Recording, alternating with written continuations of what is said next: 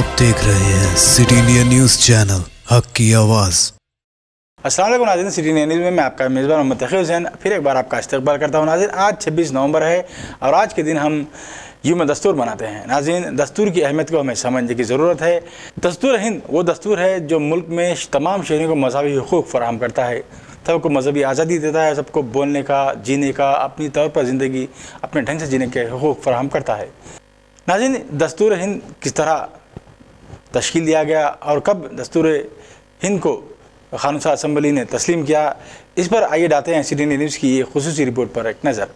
दस्तूर साज असम्बली ने 29 अगस्त 1947 को एक करारदाद के ज़रिए एक दस्तूर की मुसवदा साज कमेटी को नामजद किया और दस्तूर का मुसवदा तैयार करने की ज़िम्मेदारी दी, जिसमें सात अरकान को मुकर किया गया, जिसमें Alladi Krishna Swami Ayyar N Gopal Swami, B R Ambedkar K M Munshi, Mohammad Saadulla, B L Mitter और डी पी खेतान शामिल थे। 30 अगस्त 1947 को अपनी पहली मीटिंग में मुसवदा सास कमेटी ने बी आर अंबेडकर को अपना चेयरमैन मुंतखब किया। अक्टूबर उन्नीस सौ सैंतालीस के आखिर में मुसवदा सास कमेटी ने आयन मुशीर बी एन राव के तैयार करदा आयन के मुसवदे की छानबीन शुरू की। इसमें मुख्तलिफ़ तब्दीलियाँ की और आयन का मुसवदा 21 फरवरी 1948 को दस्तूर साज असम्बली के सदर को पेश किया।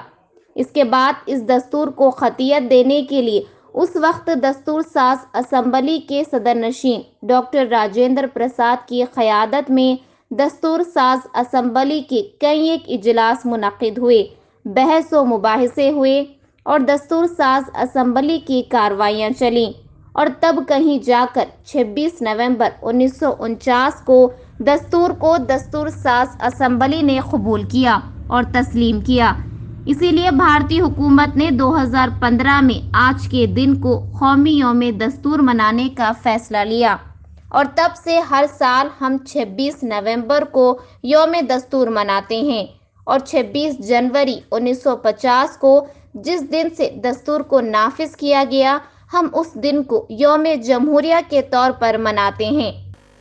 लेकिन अफसोस, अब मुल्क में ऐसी हुकूमत मकतदर है जो दस्तूर के मुताल कहती तो बहुत है, लेकिन इसकी अकदार की पामाली की मुसलसिल कोशिश में है। और जिस दस्तूर ने आवाम को बुनियादी हकूक़ फराम किए हैं, इसके बरखिलाफ़ आवाम के खिलाफ मुकदमा दर्ज करते हुए दस्तूरी हकूक़ की पामाली में मसरूफ़ है। तो नाजिन मुझे मतखी को दीजिए इजाज़त। देखते रहिए आपका अपना पसंद चैनल, सिटी न्यूज़, हक़ की आवाज़।